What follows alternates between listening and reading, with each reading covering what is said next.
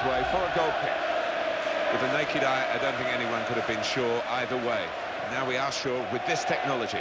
Well, the opposition appeals so convincingly at the time, you think, oh, that must have been a goal, but no, it wasn't. Well, the whole ball has got to be over the line, and it clearly isn't there.